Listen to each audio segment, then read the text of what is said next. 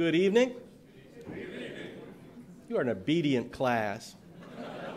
I know that our mission is in good hands with you all. When we gather together, we do two things. We celebrate the fellowship of the officers of the American Revolution, and we de- rededicate ourselves to the high mission of this organization to perpetuate the memory of the American Revolution, which was the greatest event in favor of freedom in the history of mankind. It's our purpose to make sure that all Americans understand and appreciate that, which is why we created the American Revolution Institute of the Society of the Cincinnati, and it's my pleasure to introduce to you tonight the chairman of the Board of Overseers of the American Revolution Institute, Mr. Chuck Coltman, who is going to introduce tonight's speaker.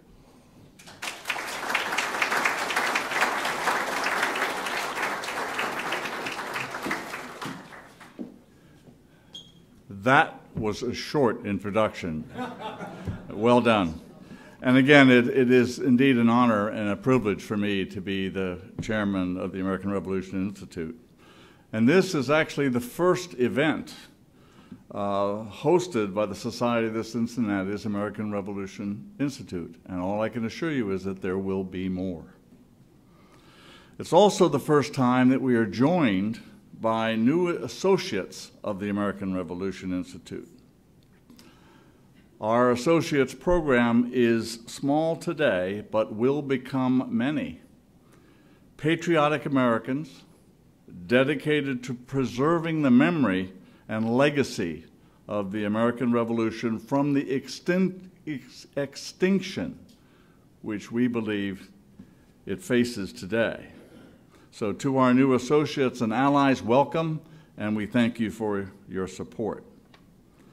But what makes tonight especially exciting for me is that the American Revolution Institute is pleased to announce an addition to its Board of Overseers, one of Washington, D.C.'s leading business people, retired CEO of Cardinal Bank, former chairman of the D.C. Chamber of Commerce, chairman of the Chevy Chase Land Trust, simply put, a dynamic, forthright, outspoken leader, known and respected by all in the Washington, D.C. area. Kate Carr, will you stand so we can express our thanks? I hope, I didn't see Kate, but I hope she's here. Yes. Thank you, Kate.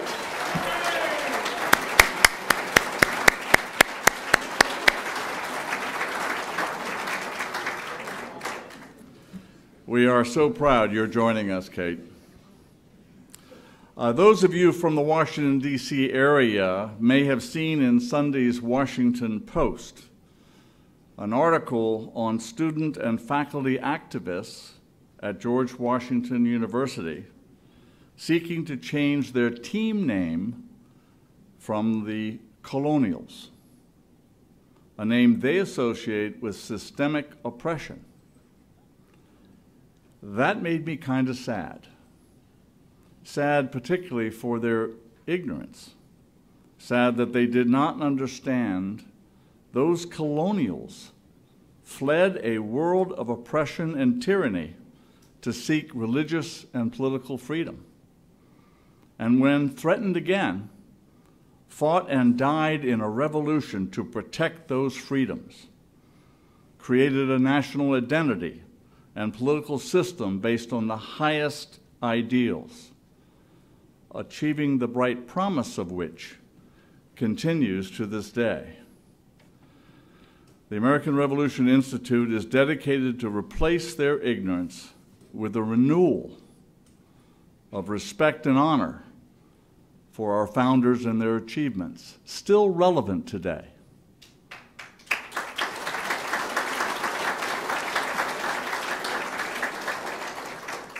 We will do so by countering that ignorance whenever we hear it. We will do so by helping reform an education system breeding that ignorance. Our speaker today understands the relevance of our founders to the issues of today. He has reached back to the words of Washington to reflect on current threats to our democracy. John Avlon's most recent book is Washington's Farewell The Founding Fathers' Warning to Future Generations. John grew up in New York City, the grandson of Greek immigrants. He graduated from Milton Academy, Yale, and later Columbia for his MBA. A professional journalist and author by the age of 31, he soon became a fixture on CNN, PBS, MSNBC, Fox and Friends, among others. In 2010, John Avlon published his second book. And I love the name, Wingnuts, which explored fringe politics and cemented his role as a centrist among political commentators. In 2013, he became editor in chief of the online Daily Beast, taking it to over 1 million readers a day while winning awards for reporting and editorial professionalism. John retains his pluralistic, nonpartisan tone, saying, quote, we will be nonpartisan but not neutral. We're going to hit both sides where appropriate. We're not going to toe any partisan line. For me, he says, the key quote of our times is from Daniel Patrick Moynihan, who said that everyone's entitled to their own opinion, but not their own facts. John, we look forward to hearing about why you wrote your latest book and what you learned about our first founder, or, frankly, anything else you care to tell us. Ladies and gentlemen, welcome John Avlon.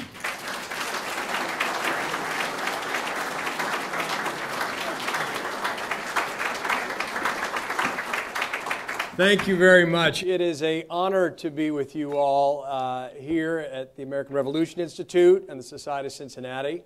Um, having written a book on Washington and his farewell address and the Founding Fathers is a, a wonderful opportunity to really take communion with our history in the founding period and to really understand and appreciate even more uh, the gift we've been given and the importance and the obligation we all have to take those first principles and play them forward.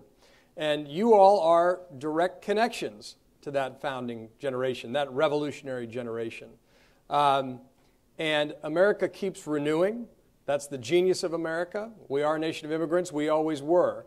But your direct connection to the past, your organization going back to Henry Knox and Alexander Hamilton and, of course, George Washington, is a great gift, not only to the memory and perpetuating the memory of the revolution, but what you can do in keeping alive the relevance of our history in today's current debates. And that's why I'm so excited about the establishment of the American Revolution Institute. I think it can play a very important role in addition to the extraordinary archives that you have collected over generations uh, under the leadership of Jack Warren now, who I had the pleasure of meeting when I was researching the book uh, at dinner in Barbados, uh, which is a non terrible place to have dinner and talk about George Washington. I highly recommend it. Um, but as you study the founding fathers, as we contemplate the role of the founding fathers and the foundational wisdom in today's debate, it seems to me that one of the primary things we shouldn't lose is a sense of how important history not only is to us, but was to them. That when the founding fathers and George Washington were developing our founding documents, were imagining this first modern republic, that they were consciously drawing not only on the lessons of their lives and their experience, inevitably, but also the lessons of history up to that point. This is key. They were engaging in applied history before there was perhaps a name for it in trying to come up with a durable republic that could make this audacious idea of the American experiment work. You know, winning a bat- war on a battlefield is essential. It is also not sufficient. You got to win the peace as well. And there was no more audacious experiment than the American Republic. I mean, even John Adams said there has not yet been a democracy that didn't die by suicide. The specter of failure haunted them. Conventional wisdom on the continent said that all democracies and democratic republics were doomed to fail unless it was on the scale of a tiny Swiss canton. You could never do it over 13 counties, over the space that we were discussing. And people also underestimate, because we use our contemporary lens to judge the past, it's inevitable, but we should hedge it just a bit. Part of the challenge wasn't just the geographic sprawl, but the fact that the United States was incredibly diverse in the times and terms of its day. You know, they spoke Dutch in upstate New York, German around Germantown, French up in Vermont. Um, I mean, the warring tribes of the European countries had been fighting and killing each other for centuries. So while we today don't give a second's thought about whether someone who's German and French can live next to each other, that was kind of a big deal then. That was a first test about whether we could transcend our tribalism.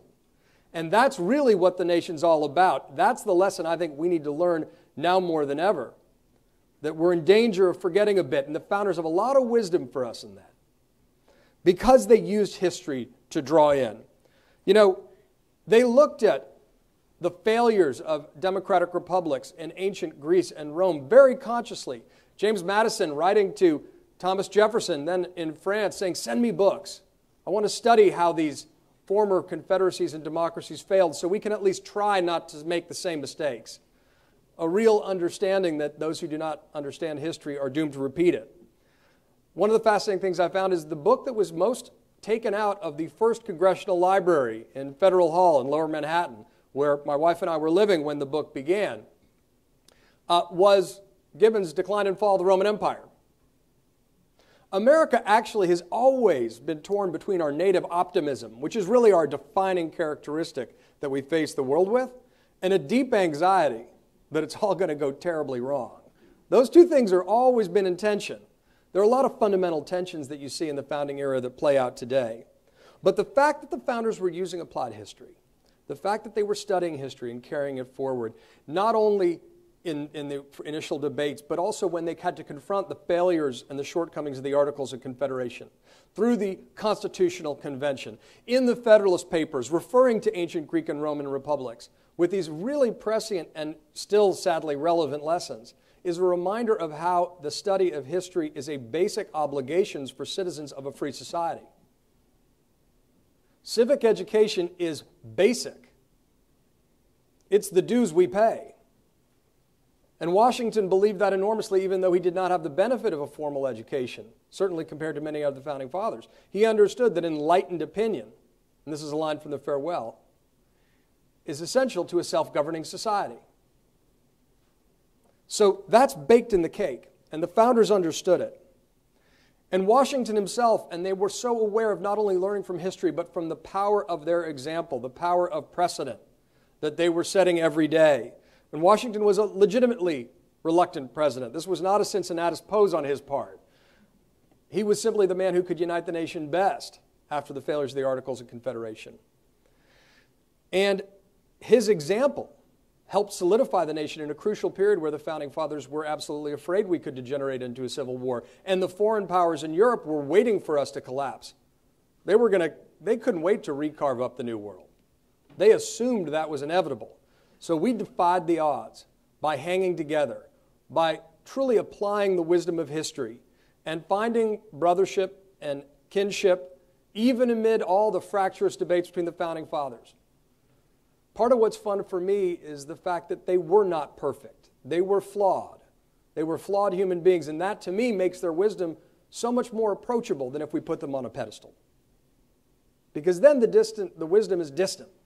We say, well, we can never achieve or aspire to those levels. We can't. That was a unique moment in history. But if we understand them as relatable and flawed, it makes their wisdom more accessible. And that, I think, can give us a little bit of inspiration and courage as we reach to do our part to carry forward the American story. And that's really what it's about. What's extraordinary to me, in really the genesis of the book, is the idea that Washington sat down to write a farewell address after eight successful, if contentious, and eventful years as president, to write a memo to us, future generations, the inheritors of this gift, about warning us about the forces that he felt could destroy Democratic Republic, rooted in the hard won wisdom of his life. That's an extraordinary gift because he could have just done what many leaders would have done and A, not left power, B, done a valedictory victory lap. I've been a great president. Look at all these great things I've done. You're welcome. I'm going home. But he didn't do that.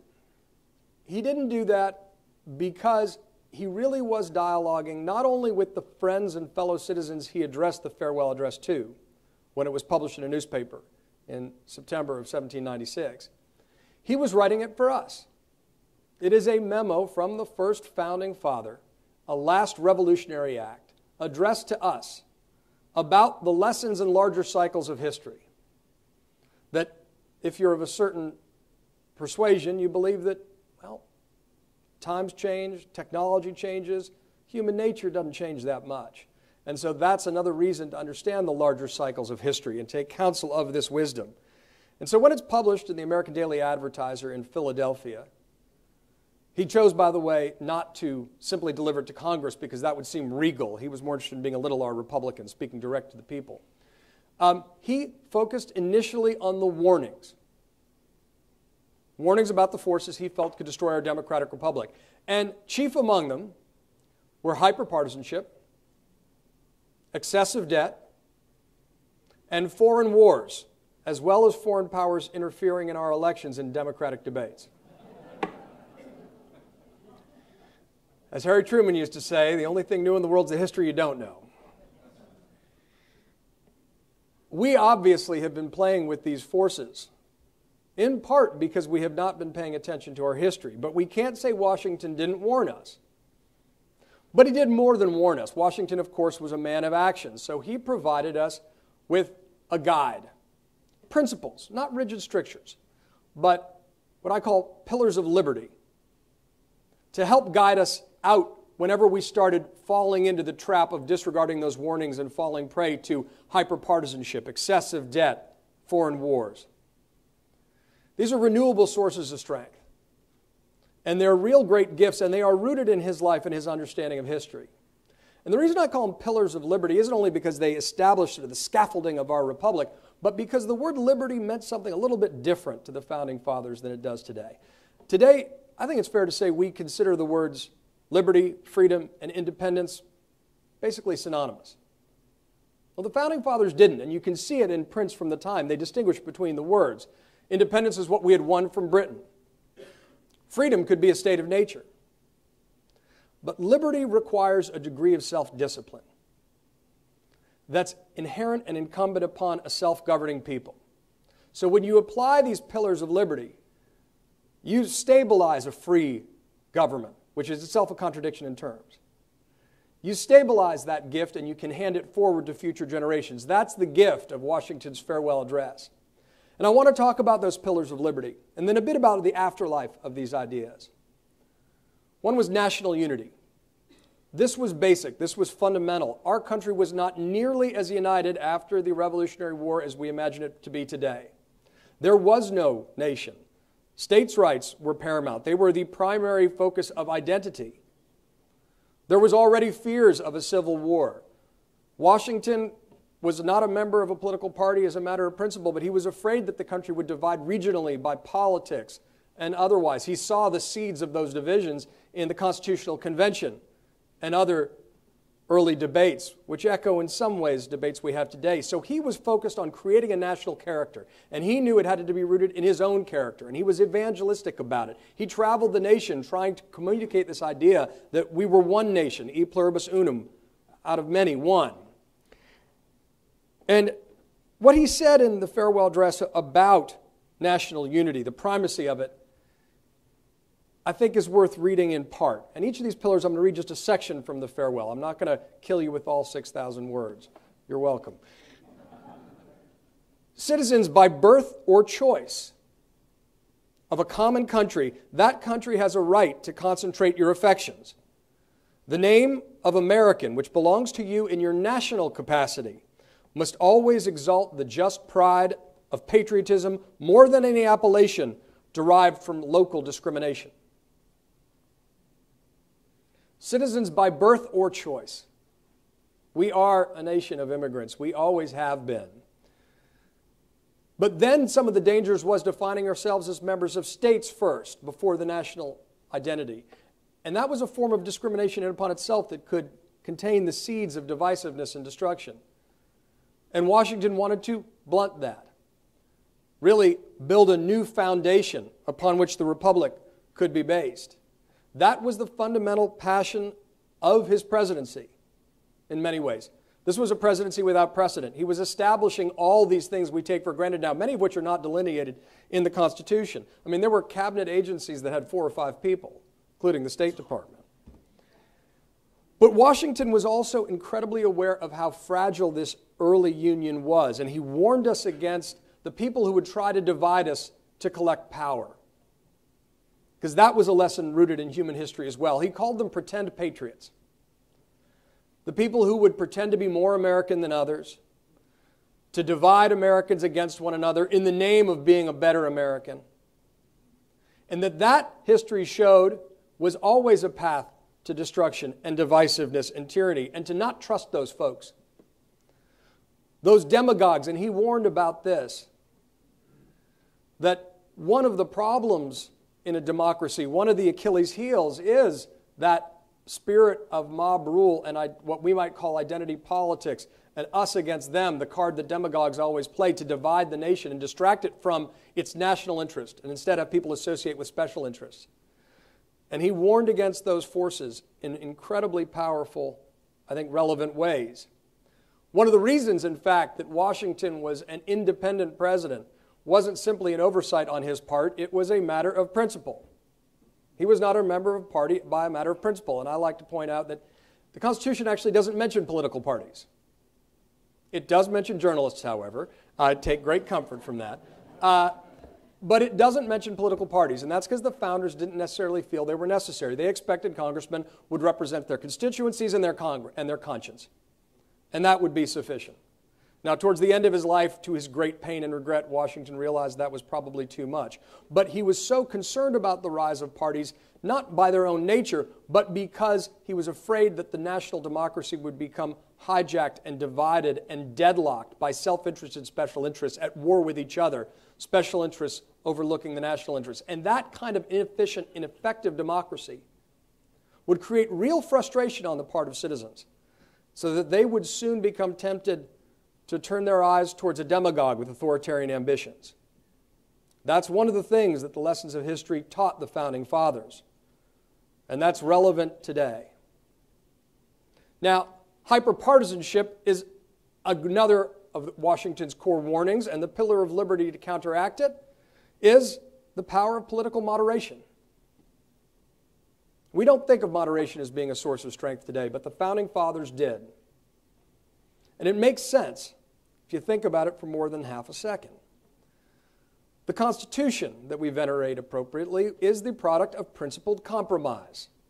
Principled compromise. There's an idea. Moderation is not a position of weakness, it is not the mushy middle. It's what democracy depends upon. It's rooted in classical wisdom, and the founding fathers understood that. That the Go back to Aristotle, where he warns about the golden mean and staying away from the extremes.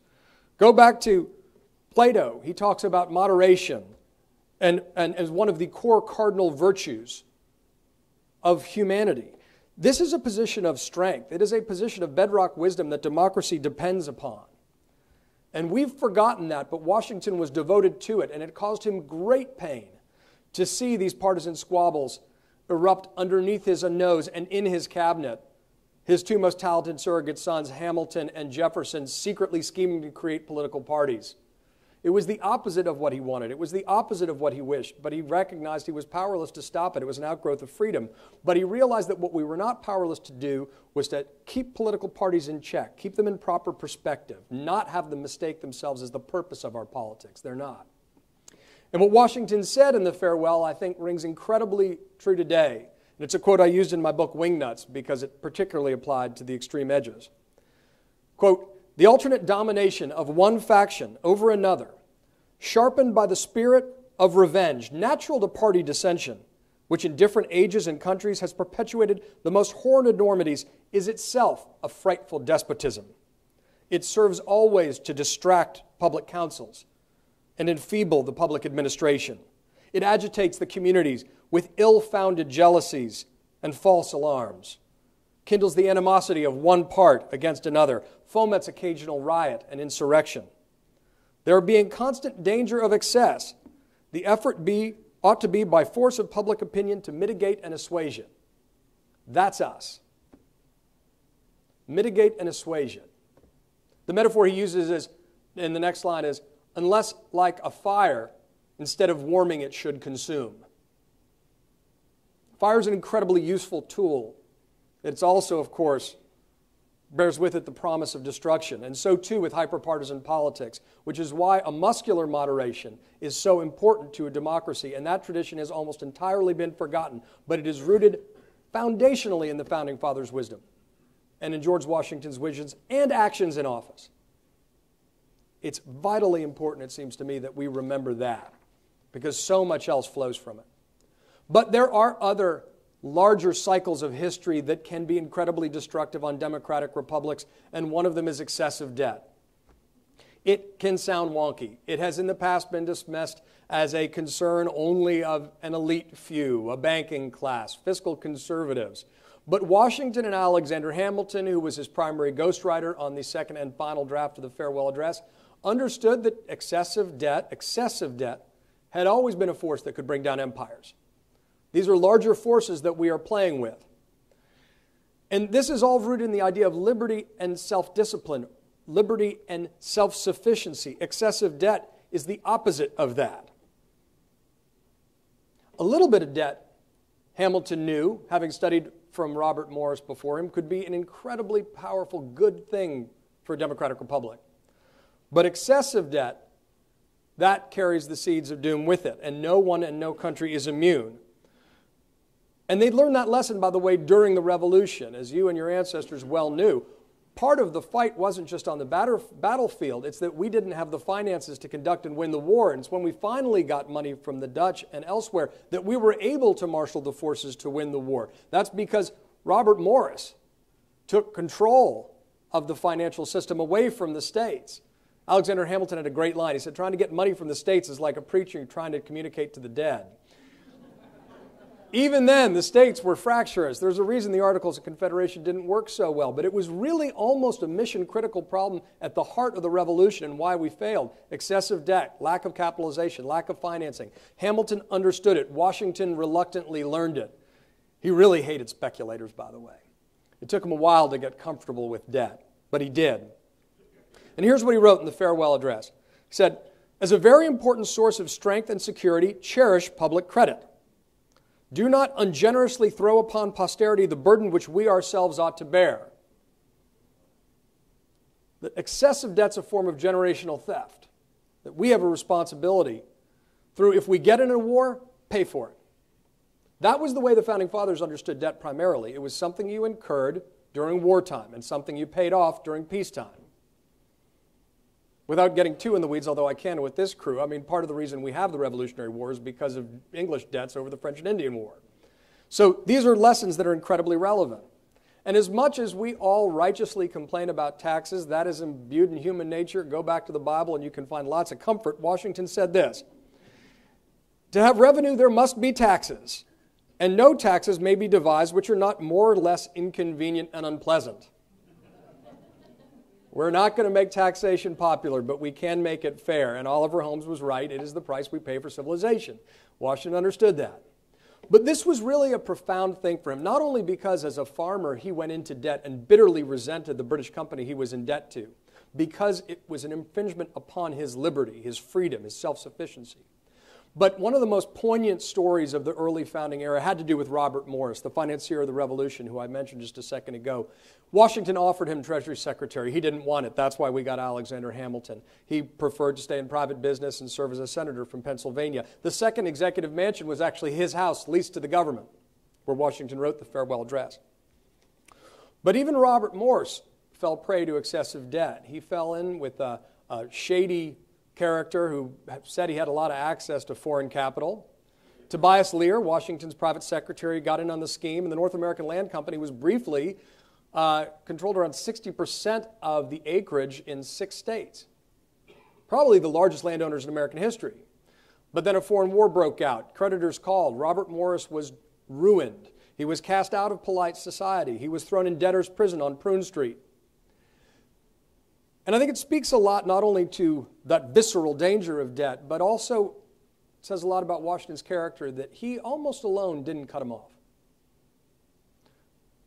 Martha invited his wife and children to Mount Vernon to stay with them. And Washington actually became the only president ever to dine with an inmate in a prison. Talk about the power of example. Talk about the power of mercy and forgiveness and friendship. It's a powerful story that also is about the danger of debt that I think spoke deeply to Washington in elevating that principle.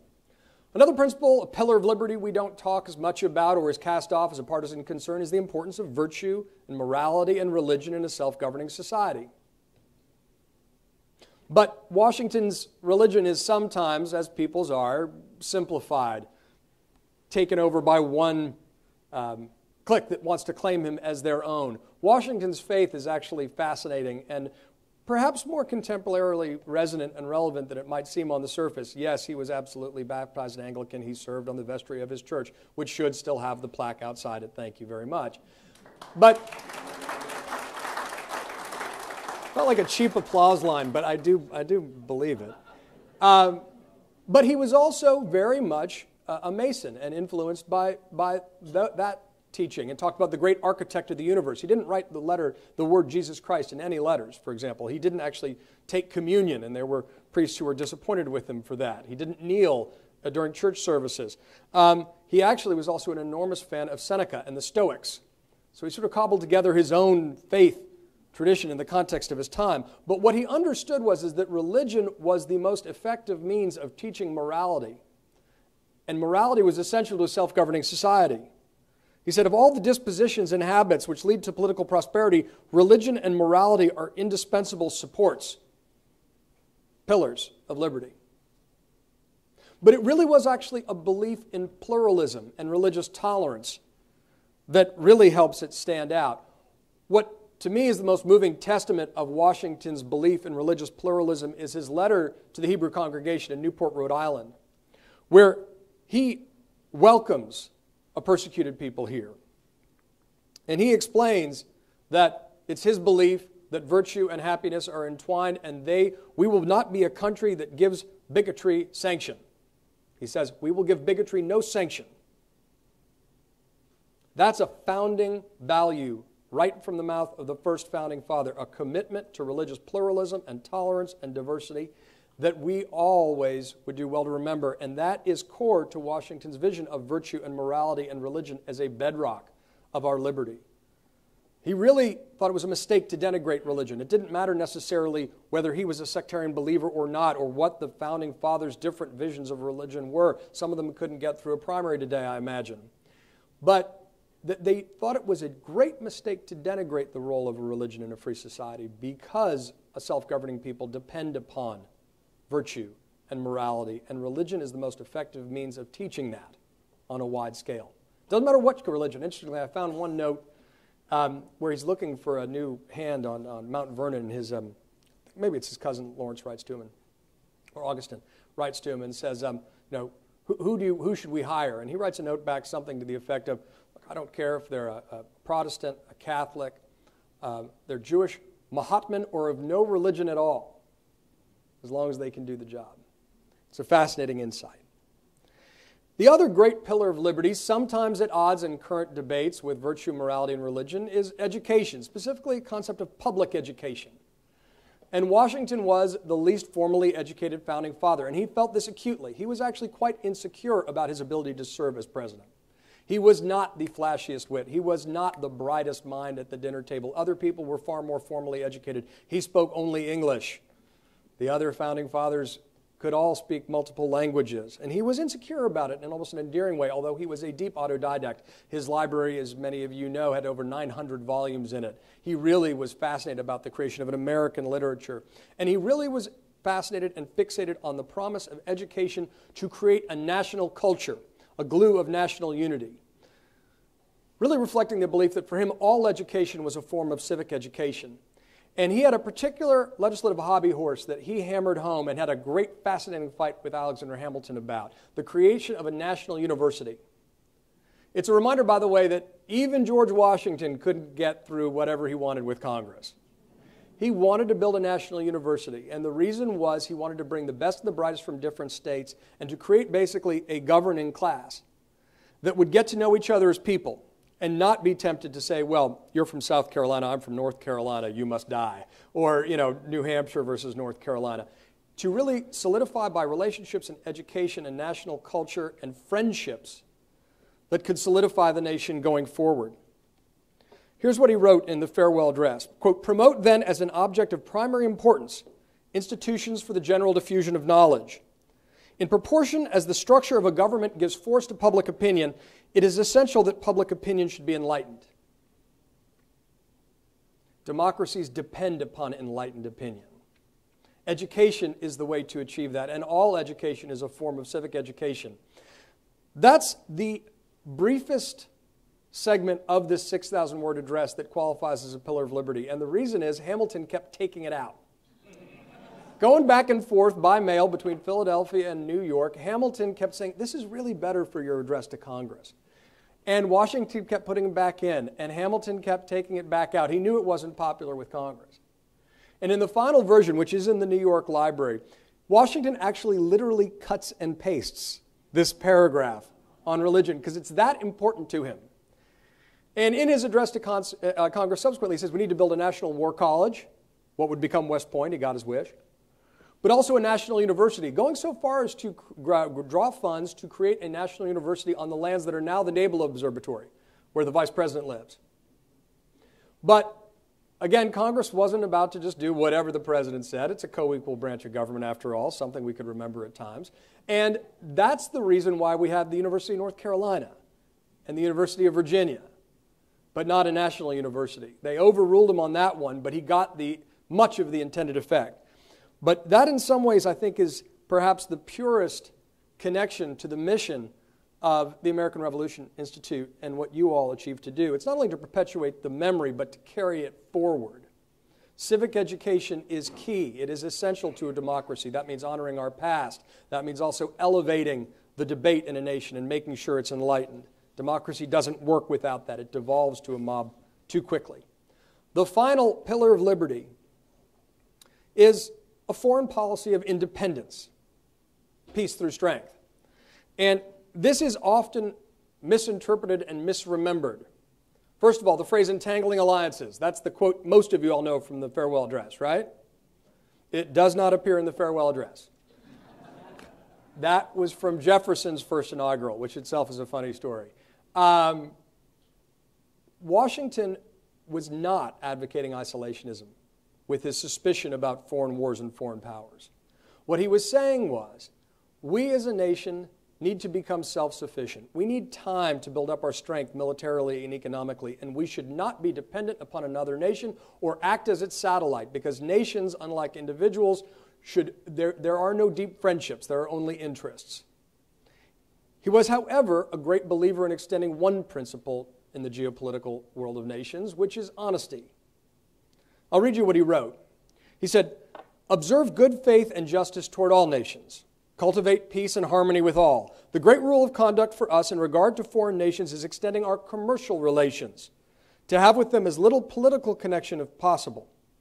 But then he says, and I'm distilling a bit, we will, over time, and he said 20 years in a series of letters, build up strength economically, militarily, where we can be seen as an independent nation on the world stage. And then, we may choose peace or war as our interest, guided by justice, shall counsel. That is not an isolationist hymn. This is about a focus on self sufficiency. And Washington also famously said in an address to Congress that the most effectual means of peace is to prepare for war, cribbing off an ancient Roman, applied history. But this has been intentionally misremembered and oversimplified. The real point of it was that we could not throw in and should not throw in with any of the feuding foreign powers on the continent of Europe. Easier said than done. You know, we forget, I think, sometimes the great blessing of geography, which is part of what established our success. We don't really talk or think about geography much anymore. Will Rogers had a great line uh, um, how about, uh, you know, America had the two greatest friends any nation ever had. You know they are? The Atlantic and Pacific Ocean. This was a great gift. Why in the world would we choose between England and France in a war they're fighting during Washington's administration? That's a fool's errand. But Jefferson and Madison, in particular, were furious about that. They saw the French as our allies. After all, they bailed us out in the Revolution. They were extending the Empire of Liberty. Hamilton and Washington and Adams looked at what was happening in the streets of France and said that that's not liberty, that's a new form of tyranny. And actually, as a rebuke to those sort of fanboys of the French Revolution, he uh, put a uh, portrait of King Louis in the executive mansion, even after he had his head lopped off, um, as a reminder of who our real ally was. It was that France, it was not the Jacobin government of France and that he was determined in signing the Proclamation of Neutrality that America would walk and should walk a durable middle path between monarchy and the mob. He understood, as Hamilton also did, that, tyr- that uh, anarchy is the quickest path to tyranny. That's what history shows, and the French Revolution was proving that all over again. Well, the sort of French Revolution apologists and romanticists were not too happy about that, and the revolutionary government sent over a guy named Citizen Genet over to the United States, who's not widely remembered today, but his job in part was to sway public opinion, to get Washington to renounce the uh, Proclamation of Neutrality, and if that didn't work, to overthrow the government. America's two party system really begins here because Madison and Jefferson throw in together secretly. They hire a, a college uh, buddy of uh, Madison's named Phil Freneau to run a partisan newspaper attacking the foreign policy of uh, the Washington administration in this regard. Freneau says, Look, you're not going to be able to pay me enough uh, to get to move to uh, Philadelphia. There's just not enough money. And he said, Well, Jefferson says, Look, it's okay. I run the State Department. I'll hire you as a clerk. So the partisan newspaper attacking the foreign policy of the administration is being run out of the State Department. I mean, you know, lest we romanticize the past a little too much. I mean, you know, partisan press, not a new thing. Uh, rivalries, not a new thing. But this actually is, is something close to treason. Um, but Washington would not be swayed. There were riots, there were insurrections. Ultimately, by the way, a new round of Jacobins took over. Genet realized he was homeless, married to American George Clinton's daughter, begged for forgiveness, and Washington ensured that he wasn't hung, uh, which is more than he would have given Washington had the tables been turned. But that's about the importance of neutrality as a principle of independence, a foreign policy of independence. We should not have permanent attachment to one nation or another because it will cloud our judgment.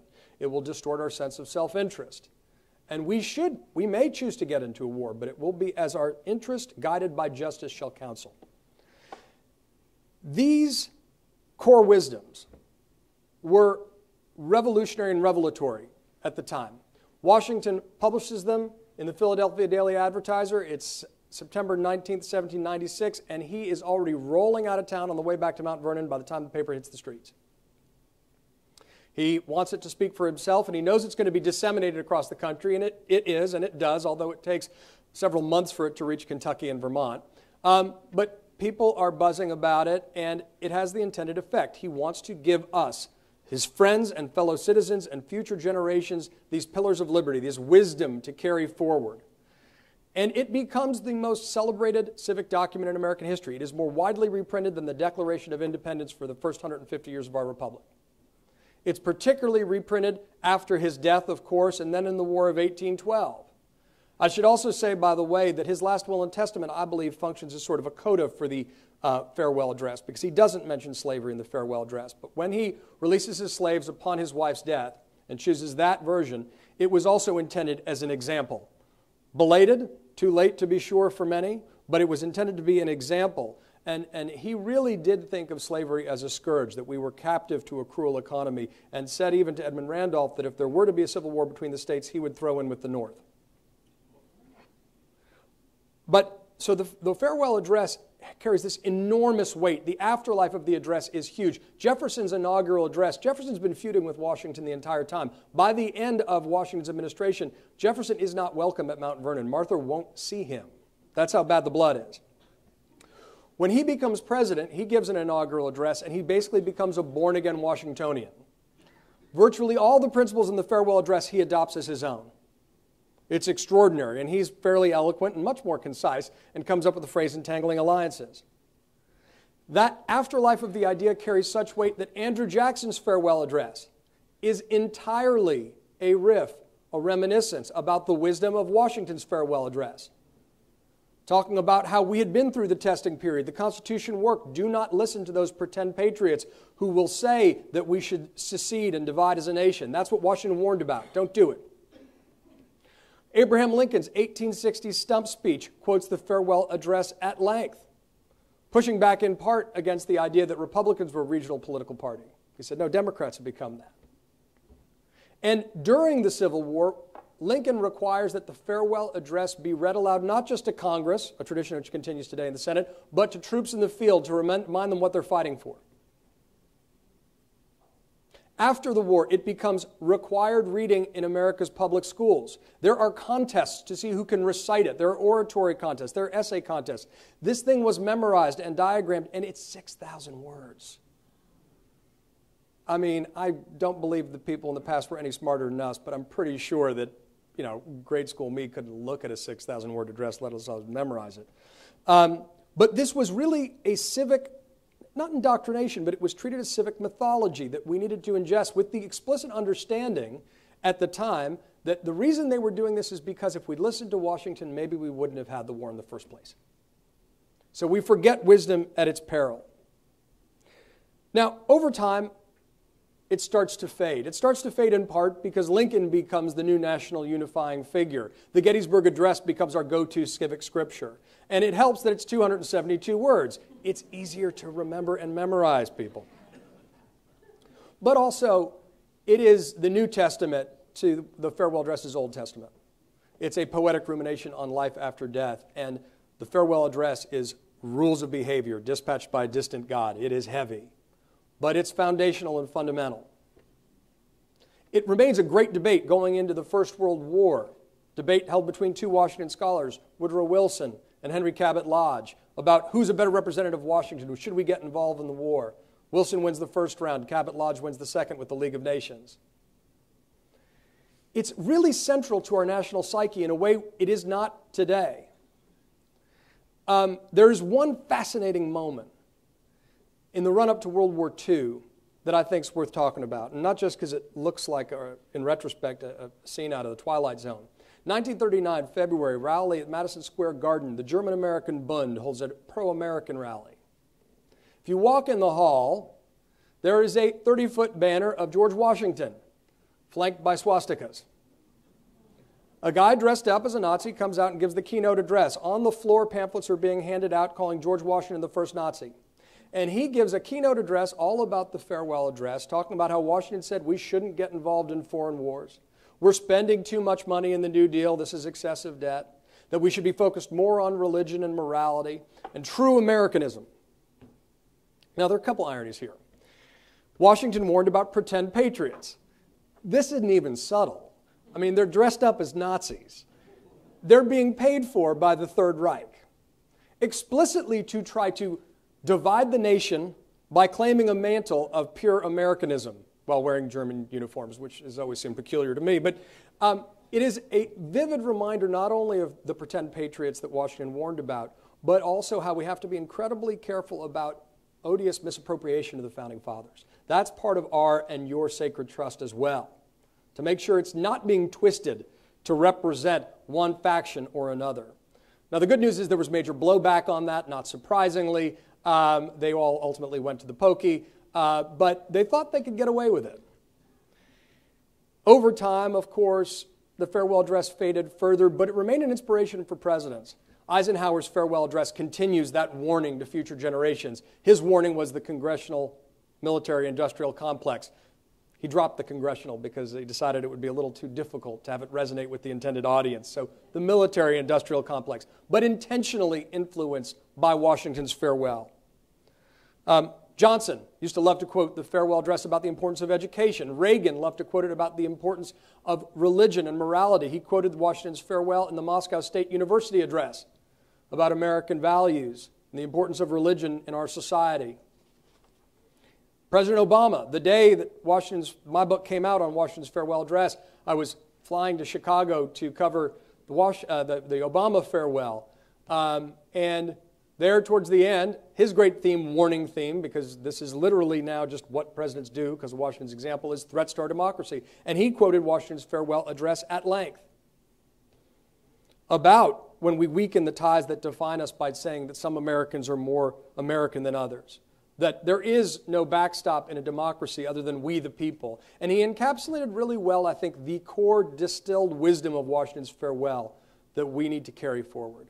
The idea that our independence as a nation is inseparable from our interdependence as a people.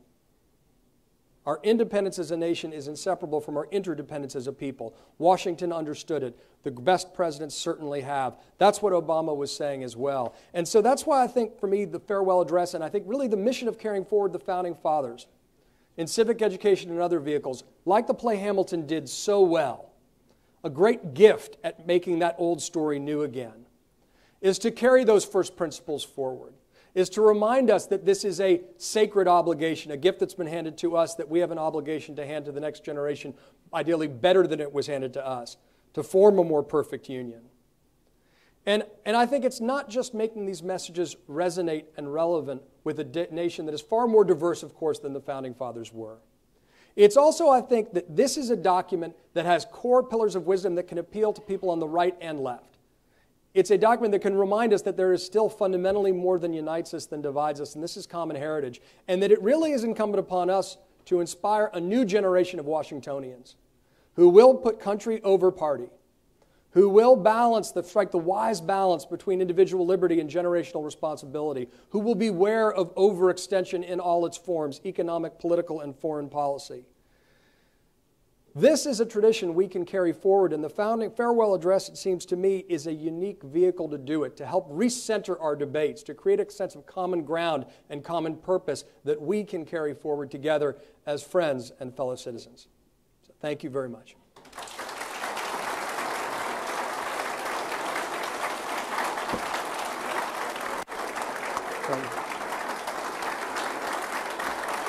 I don't know if I have time for questions, but.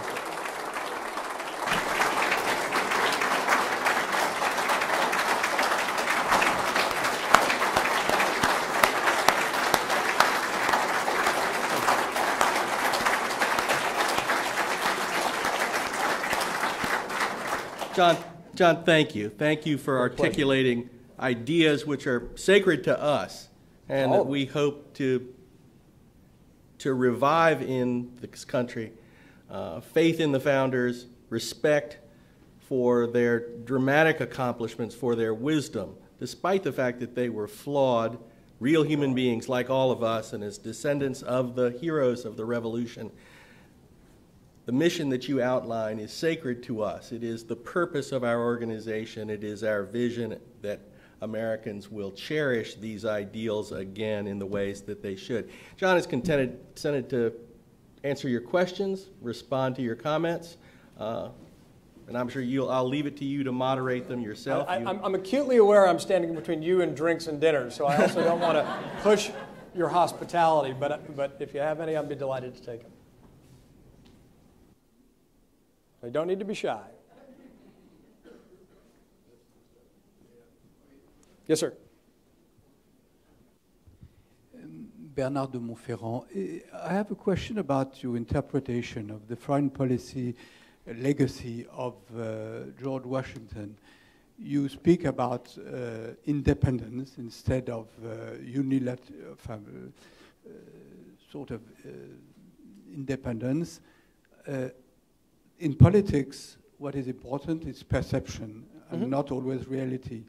And in fact, the words of George Washington have always been interpreted, or percept- that the perception was uh, a, a, a, perception of Mm-hmm. isolationism. And either in the United States or abroad, the roots of the foreign policy of, the Amer- of America have always been related to uh, no entangling alliances of uh, those words which have been so important. Are, aren't you underestimating this, uh, this interpretation? I, I, so the gentleman is asking me, I assume from a German perspective, um, that, um, that um, you know, I'm, I'm, I'm kidding. But, um, but you know, if, if, the, if the received wisdom, if politics is perception, as he says, in which I agree, uh, that if the received wisdom of Washington's farewell address is that it's an endorsement of isolationism, shouldn't we just deal with that as it is? Um, I agree with you, politics is perception, but I also think that that's why you want to drill down on the original documents and get as close to the original intent as you can. And I think that's actually a fundamental misunderstanding of what he was saying. Um, certainly in the trajectory of the nation. It was about building strength over time. It was not about throwing indefinitely in with one nation or another. But I also think principles are guidelines. This is not a straitjacket. And I think that's the debate we had around World War I, whether we should get in or not. We had an all another debate around World War II.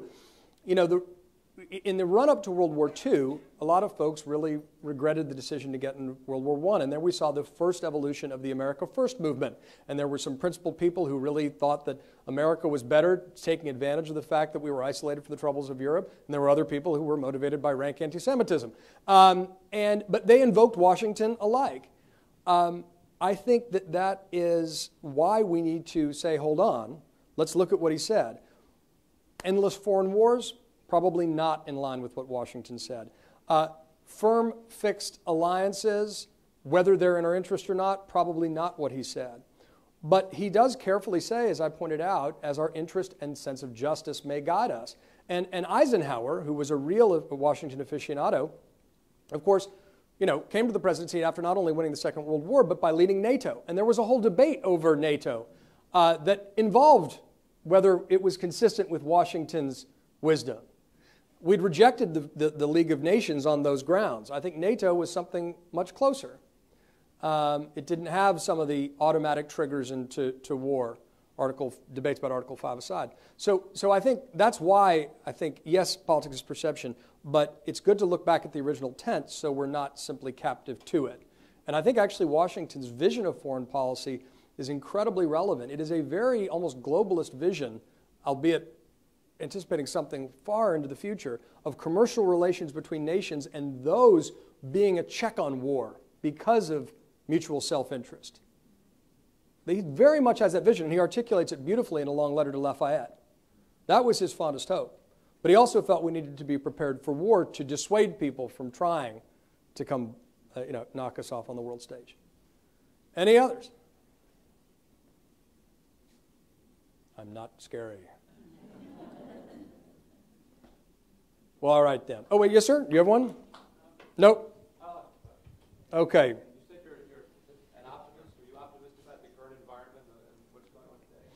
I, I am. Uh, well, what I said at the beginning is, you know, the American character, even if you look at the earliest days of the, of the Republic, we are native optimists as Americans, but there's always been a deep undercurrent of anxiety uh, about the future, and that's true in our earliest days. I think that's still true today. My favorite quote about optimism is actually uh, attributed to Abraham Lincoln, who I'm going to write my next book about, and I'm beginning the researching stage, and, and it's fun. But he, he's said to have said, I'm an optimist because I don't see the point in being anything else. um, that's the way I feel about, about optimism. Look, we are a strong country.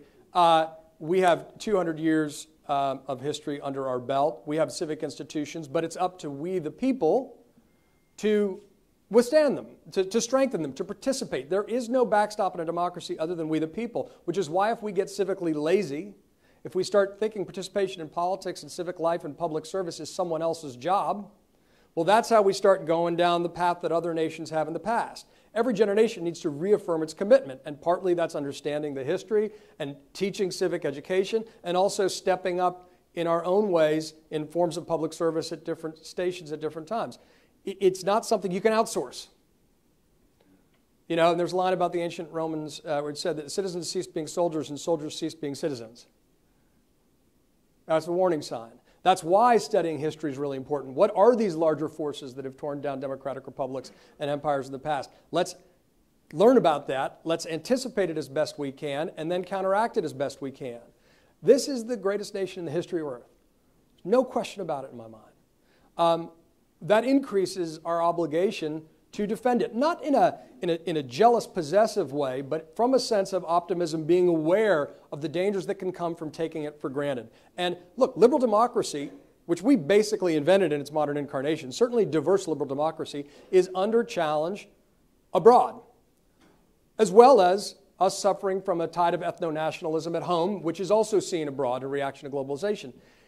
We, as the world's paragon premier first examples of diverse liberal democracy need to defend that tradition at home and abroad because there are other systems emerging that are challenging that. And there's been no system that's led to more freedom or prosperity or equality than a diverse, our diverse liberal democracy.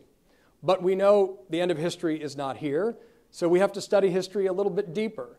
And, and I think when you look at nations pitching alternate systems like wealth without liberty, you know, um, which is incredibly dangerous, where surveillance states emerge, but people say, hey, you know, it's okay, you can have a great party in Shanghai, don't worry about a little civil liberties here or there.